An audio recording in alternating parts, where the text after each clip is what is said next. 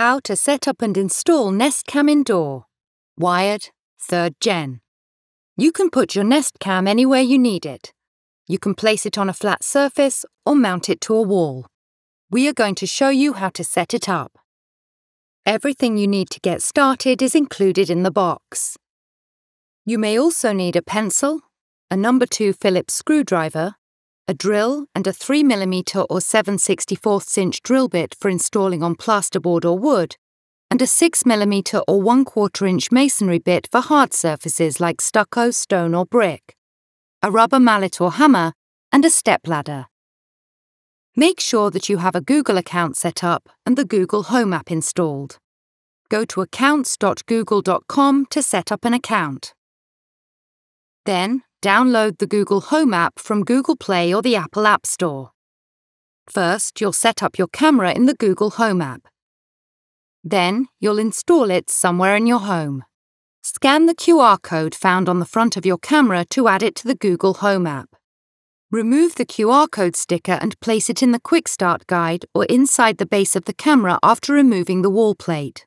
Saving the QR code sticker will make it easier to set up your camera again if you need to.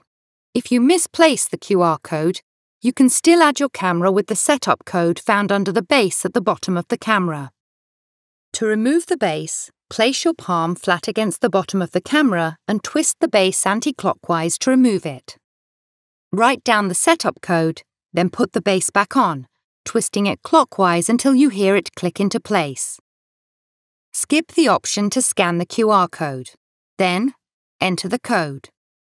The app will now guide you through the terms and conditions and usage guidelines. Plug in your camera where you'd like to use it. The camera will chime and the status light will turn white when it's connected to power. The light will turn blue when it's ready to set up. If you plan to mount your camera on a wall, finish setup through the Google Home app first.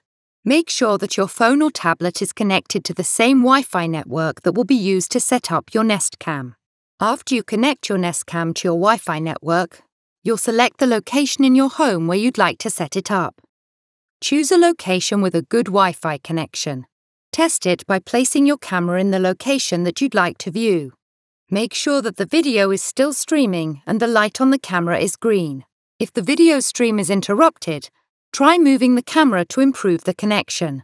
Sometimes a few centimetres can make a big difference.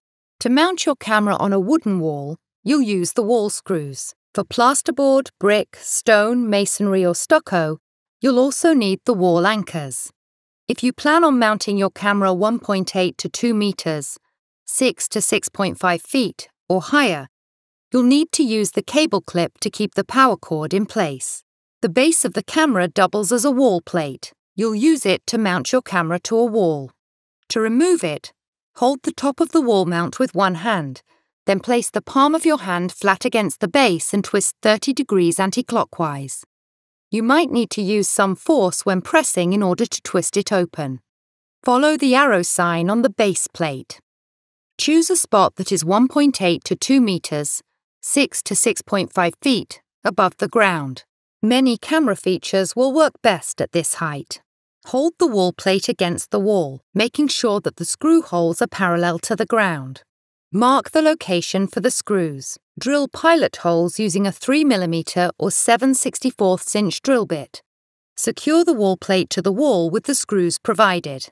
If wall anchors are needed, mark the location for each screw. Then, drill a hole for each anchor using a 6mm or 1 4 inch drill bit or masonry bit. Gently tap in the anchors with a rubber mallet or hammer. Then, secure the wall plate with the screws provided. Now, follow the steps in the app to mount the camera to the wall plate. Make sure that the base of the camera is the right way up so that the arrow is pointing up. Then, turn the camera head 180 degrees so that the power cord is at the top of the camera. Place the power cord through the gaps in the wall plate.